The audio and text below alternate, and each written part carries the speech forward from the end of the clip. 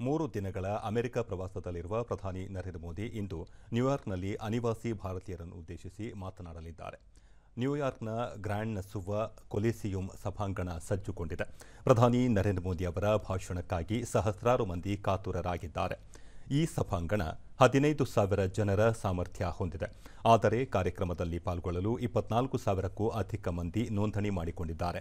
ಪ್ರಧಾನಿ ಅವರ ಕಾರ್ಯಕ್ರಮದಲ್ಲಿ ಭಾಗಿಯಾಗಲು ಅಲ್ಲಿನ ಭಾರತೀಯ ಸಮುದಾಯ ಉತ್ಸಾಹದೊಂದಿಗೆ ಕಾದು ನೋಡುತ್ತಿದೆ. ಇದಲ್ಲದೆ ಅತ್ಯಾಧುನಿಕ ತಂತ್ರಜ್ಞಾನದ ಕ್ಷೇತ್ರದಲ್ಲಿ ಉಭಯ ದೇಶಗಳ ನಡುವಿನ ಸಹಯೋಗವನ್ನು ವೃದ್ಧಿಸಲು ಪ್ರಧಾನಿ ನರೇಂದ್ರ ಮೋದಿ ಅವರು ಪ್ರಮುಖ ಅಮೆರಿಕ ಮೂಲದ ಕಂಪನಿಗಳ ಮುಖ್ಯ ಕಾರ್ಯನಿರ್ವಹಣಾಧಿಕಾರಿಗಳೊಂದಿಗೆ ಸಂವಾದ ನಡೆಸಲಿದ್ದಾರೆ. ಕೃತಕ ಬುದ್ಧಿಮತ್ತೆ ಕ್ವಾಂಟಮ್ ಕಂಪ್ಯೂಟಿಂಗ್ ಮತ್ತು ಸೆಮಿಕಂಡಕ್ಟರ್ ವಲಯದ ಬಗ್ಗೆ ಮಹತ್ವದ ಸಮಾಲೋಚನೆ ನಡೆಸಲಿದ್ದಾರೆ.